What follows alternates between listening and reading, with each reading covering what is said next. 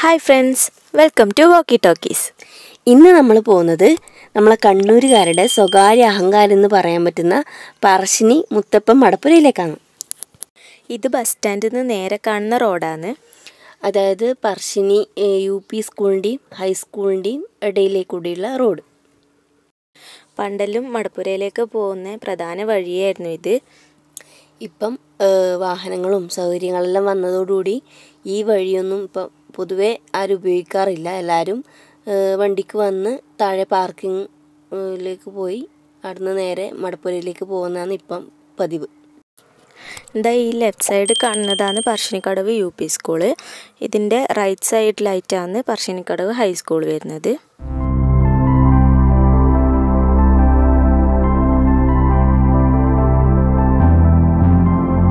ഈ സ്കൂളിൽ പഠിക്കുന്ന പിള്ളേർക്കെല്ലാം ഭാഗ്യം തന്നെ അല്ലേ? എപ്പം പോയിട്ട് ഉച്ചയ്ക്ക് മുത്തപ്പന്റെ അവിടുന്ന് ചോറ് തിന്നാം. അതെ. എന്റെ അമ്മയെല്ലാം പഠിച്ച സ്കൂളാണിത് അവരെല്ലാം എപ്പോൾ ഉച്ചയ്ക്ക് ചോറ് വയ്ക്കാൻ വേണ്ടിയിട്ട് ആ സ്റ്റെപ്പ് ഇറങ്ങിയിട്ട് ഓടുക ജയിലിൽ എന്ന് പറയുന്നത് കേട്ടിട്ടുണ്ട്. അന്നേരമൊന്നും പക്ഷേ ഇങ്ങനത്തെ സ്റ്റെപ്പൊന്നും ഇല്ലാന്ന് തോന്നുന്നു. ഇപ്പം സ്റ്റെപ്പല്ല. അന്നേരം ഇങ്ങനെ ഇടവഴി ഇങ്ങനെ നമ്മൾ സ്വയം നമ്മൾ തന്നെ കൊത്തി ഉണ്ടാക്കുന്ന വഴികളില്ലേ? അങ്ങനത്തെ വഴികളാണ് നിങ്ങൾ ആരെങ്കിലും ഈ ശ്രദ്ധിച്ചിട്ടുണ്ടോ ശ്രദ്ധിച്ചിട്ടുണ്ടാ? ഈ ആളിനെല്ലാം ഒരുപാട് ചരിത്ര പ്രാധാന്യങ്ങളുള്ള കഥകളെല്ലാം പറയാനുണ്ട്. അത് മാത്രമല്ല മുത്തപ്പന്റെ ദർശനം കഴിഞ്ഞിട്ട് ഈ സ്റ്റെപ്പ് കയറി ക്ഷീണിച്ച് വരുന്നവർക്ക് നല്ലൊരു തണലേകുന്ന ഒരു സ്ഥലവും കൂടിയാണ് ഇയാൾ ഇവിടെ ഇരിക്കുമ്പം പറഞ്ഞറിയിക്കാൻ പറ്റാത്ത അത്ര ഒരു തണുപ്പും കുളിർമയാണ്. ഈ വീഡിയോ കാണുന്നവരിൽ ആരെങ്കിലും ഈ ആലിന്റെ സൈഡിൽ ഇരുന്നിട്ട് ക്ഷീണകറ്റിയവരുണ്ടെങ്കിൽ അവർക്ക് ആ ഓർമ്മയിൽ ഇപ്പം മനസ്സിലേക്ക് വരുന്നുണ്ടാവും നമുക്ക് നല്ല ഉറപ്പാണ്. ഇടയിലും കുറേ കടകളുണ്ട്. നട എത്തുന്നത് വരെ രണ്ട് സൈഡിലും കുറേ ചന്തകളും ഷോപ്പുകളാണുള്ളത്. നമ്മൾ ഈ സ്റ്റെപ്പ് കയറി വരുന്നവിടെ തന്നെ ഒരുപാട് വെള്ളങ്ങളെല്ലാം വിൽക്കുന്ന കടകളാണ്.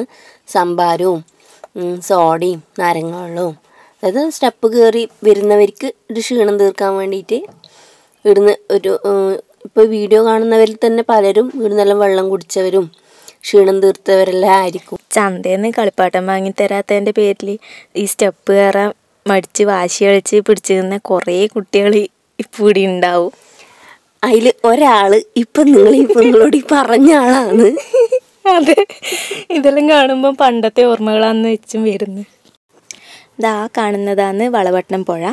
വളപട്ടണം പുഴേന്റെ തീരത്താണ് പറശ്ശിനിക്കടവ് ക്ഷേത്രം സ്ഥിതി ചെയ്യുന്നത്. ഈ ക്ഷേത്രത്തിന്റെ ഐതിഹ്യം എന്ന് പറയാനാണെങ്കിൽ അയ്യങ്കര ഇല്ലത്തെ വാഴുന്നവർക്കും ശിവഭക്തിയായ അവരെ അന്തർ പാടിക്കുട്ടി അന്തർജനത്തിനും കുട്ടികളൊന്നും ഉണ്ടായിരുന്നില്ല. ഈ ഒരു ദിവസം ഈ അന്തർജനം പുഴയിൽ കുളിക്കാൻ പോയ സമയത്ത് ഒരു പച്ചയോലയിൽ തീർത്ത ഒരു കൊട്ട ഇങ്ങനെ ഒഴുകി വരുന്നത് കാണുകയും ആ കൊട്ട ഒരു കല്ല് തട്ടിയിട്ട് ഈ പാടിക്കുട്ടി അന്തർജനത്തിന്റെ അടുത്ത് നിന്ന് അത് അതിന്റെ അകത്തൊരു ദിവ്യ തേജസ്സുള്ള ഒരു ആൺകുട്ടീനെ കണ്ടു എന്നാണ് പറയുന്നത് അവർ ആ കുട്ടീനെ എടുത്ത് ഇല്ലത്തിലേക്ക് കൊണ്ടുപോയി. അവിടുന്ന് സ്വന്തം കുഞ്ഞായിട്ട് വളർത്താൻ തുടങ്ങി. ആ കുട്ടി ബ്രാഹ്മണ ആചാരങ്ങൾക്ക് വിരുദ്ധമായിട്ട് അടിയാളരുടെ കൂടെയെല്ലാം കൂടി മത്സ്യവും മാംസവും കള്ളെല്ലാം കുടിച്ചിട്ട് ഇല്ലത്തേക്ക് എത്താൻ തുടങ്ങി.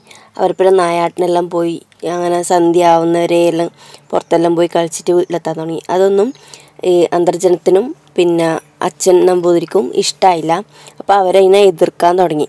അപ്പോൾ ആ എതിർപ്പിനെ തുടർന്നിട്ട് മുത്തപ്പൻ അവരെ വിശ്വരൂപം കാണിച്ചു കൊടുത്തു ഒരു ദിവസം. അതായത് മുറി അടച്ചിരുന്നിട്ട് പാടിക്കുറ്റൻ അന്തർജനം വിളിച്ചോണ്ട് നേരം തുറന്നു. അപ്പോൾ പെട്ടെന്ന് കണ്ടത് ഈ ശരിക്കും ആ മുത്തപ്പന്റെ വിശ്വരൂപമാണ് അപ്പം അന്നേരം മുത്തപ്പന്റെ കണ്ണ് തീജ്വാല ജ്വലിക്കുന്ന പോലെ ജ്വലിക്കുന്നുണ്ടായിന്. അപ്പോൾ അന്നേരം അമ്മ പറഞ്ഞു മോനെ ഇങ്ങനെ ആരെയും നോക്കാൻ പാടില്ല എന്ന് പറഞ്ഞതിന് ശേഷമാണ് മുത്തപ്പൻ പൊയ്ക്കണ്ണ് ധരിച്ചത്. അങ്ങനെ ആടുന്ന് അമ്മയോട് പറഞ്ഞു അമ്മ അമ്മ വിചാരിക്കുമ്പോഴെല്ലാം ഞാൻ ഇങ്ങോട്ടേക്ക് ഓടി എത്തുമെന്ന് പറഞ്ഞിട്ട് വീട് വിട്ട് ഇറങ്ങി. അങ്ങനെ പോയത് കുന്നത്തൂർ പാടിയിലേക്കാണ് പോയത്.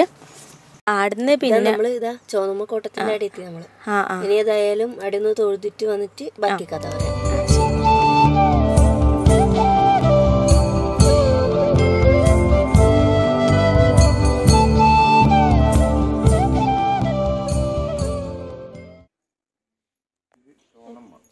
ആ. ദേവി എന്ന് പറയും.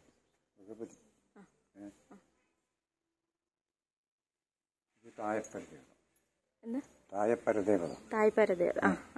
അത് പ്രധാനപ്പെട്ട ഒരു തെയ്യമാണ് പിന്നെ ഒരു പുള്ളൂർ കണ്ണനുണ്ട് പുള്ളൂർ കണ്ണൻ പിന്നെ കരിയാത്തൻ.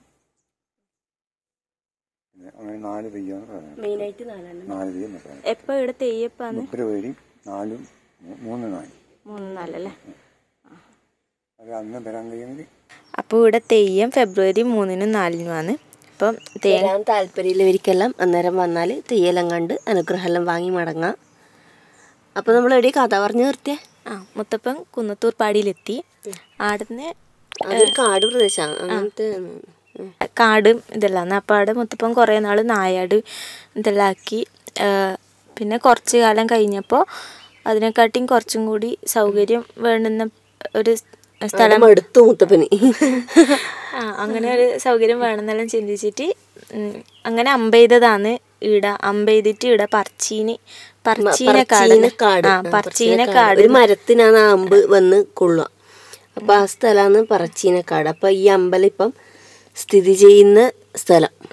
ആ പറച്ചീനക്കാടാന്ന് പിന്നെ ലോപിച്ച് ലോപിച്ച് പറശ്ശിനിക്കടവ് നായത് ഇതാണ് കുന്നുമ്മൽ തറവാട് ഏഹ് ഈടുന്നാണ് ഉത്സവത്തിന് അമ്പലത്തിലേക്ക് കലശത്തട്ട് കൊണ്ടുപോലെ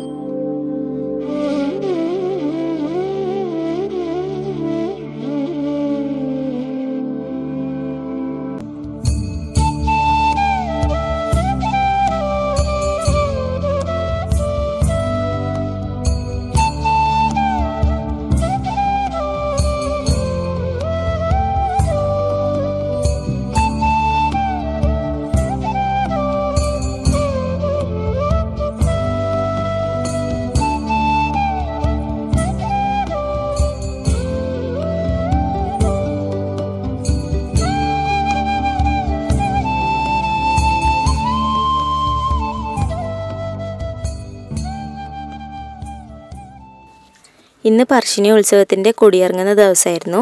പക്ഷെ നമ്മൾ എത്താൻ ലേറ്റ് ആയതുകൊണ്ട് കൊടിയിറങ്ങുന്നത് കാണാൻ പറ്റിയിട്ടില്ല. ഉത്സവത്തിനും വരണമെന്ന് നല്ല ആഗ്രഹം ഉണ്ടായിരുന്നു. പക്ഷേ അതും സാധിച്ചില്ല. അന്ന് ഒരുപാട് പരിപാടികൾ ഉണ്ടായിരുന്നു അല്ലേ? കളരിപ്പയറ്റ് പിന്നെ കാഴ്ചവരവ് വെടിക്കെട്ട് അങ്ങനെ പിന്നെ കഥകളി അങ്ങനെ ഒരുപാട് വിശേഷങ്ങളെല്ലാം ഉണ്ടായിരുന്നു. പക്ഷെങ്കിൽ അതെല്ലാം നമുക്ക് മിസ് ചെയ്തു. വല്ലാണ്ട് മിസ് ചെയ്തു അല്ലേ? കാണാൻ കുറേ ആഗ്രഹം ഉണ്ടായിരുന്നു. കുട്ടികൾക്ക് ചോറൂണിനുള്ള സൗകര്യം ഇവിടെയുണ്ട്. രാവിലെ തൊട്ട് ഉച്ചവരെയാണ് അതിന്റെ ടൈം വരുന്നത്. ഗുരുവായൂർ കഴിഞ്ഞാൽ പിന്നെ എല്ലാവരും മനസ്സിൽ വിചാരിക്കുക പറശ്ശിനിക്കടവിന് കുട്ടിക്ക് ചോറ് കൊടുക്കണം എന്നായിരിക്കും.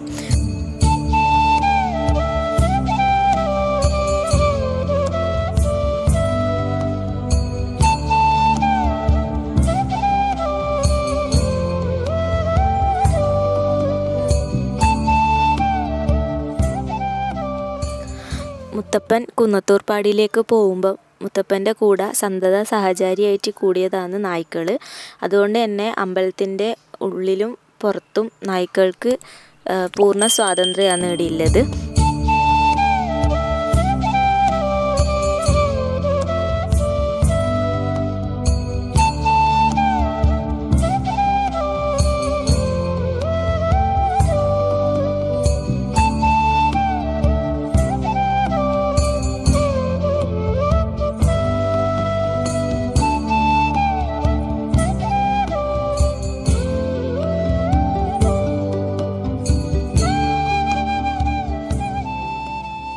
ഇനി നമുക്ക് നടയിൽ പോയിട്ട് തൊഴുതിട്ട് വരാം.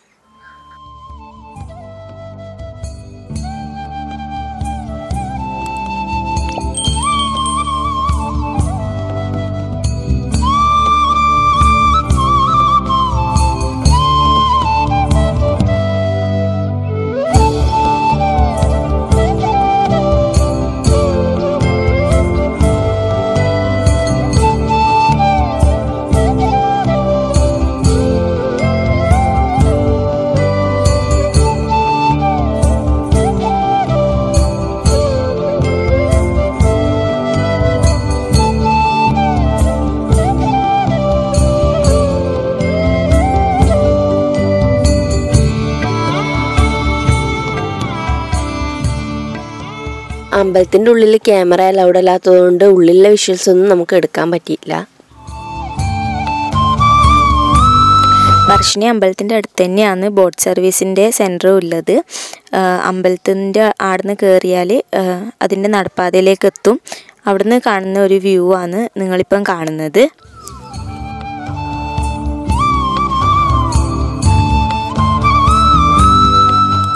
പറശ്ശിനി ബോട്ട് സർവീസിന്റെ ഹൗസ് ബോട്ടാണ് ഈ പോകുന്നത്. നമ്മൾ ഈ ബോട്ടിൽ പോയതിന്റെ വീഡിയോ നമ്മളെ ചാനലിൽ ഇട്ടിട്ടുണ്ട്.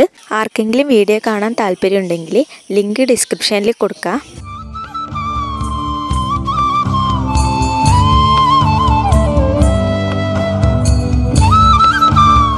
മുത്തപ്പന്റെ കഥകളും വിശേഷങ്ങളൊന്നും ഒരിക്കലും നമുക്ക് പറഞ്ഞാൽ മതിയാവോ ഇല്ല തീരുവോ ഇല്ല അപ്പോൾ ഇനി ഒരുപാട് വിശേഷങ്ങൾ കാണാനുണ്ടല്ലേ?